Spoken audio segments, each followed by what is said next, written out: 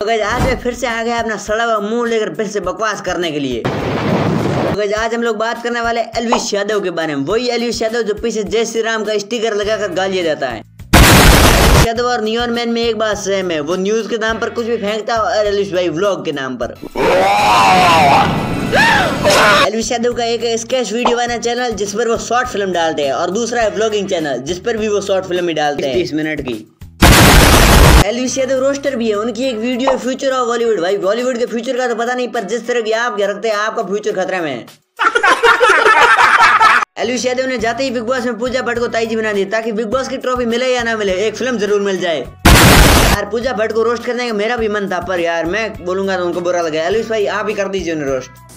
कि पूजा जी घर में इतना काम करती हैं, इतनी मेहनत करती हैं तो कभी आपको ये नहीं लगता कि इतनी मेहनत अपनी मूवीज़ में कर ली होती थी। यही बात मैं आपको कहना चाहता हूँ ब्लॉग बनाने में मेहनत करो हर बार कटारिए कुछ चैपने से व्लॉग नहीं बनता। यादव से कोई भी बात पूछो वो एक ही जवाब देते हैं सिस्टम है सिस्टम है। उन्हें हकते हुए पूछोगे ना एलिश भाई क्या करें हम तो सिस्टम ही सिस्टम कर रहे हैं करोगे हमारे साथ? इन खेतों में इतना हक देगा छुप छुप के इतना हक दूँगा इन खेतों में खेत के मालिक ने सोची ना होगी।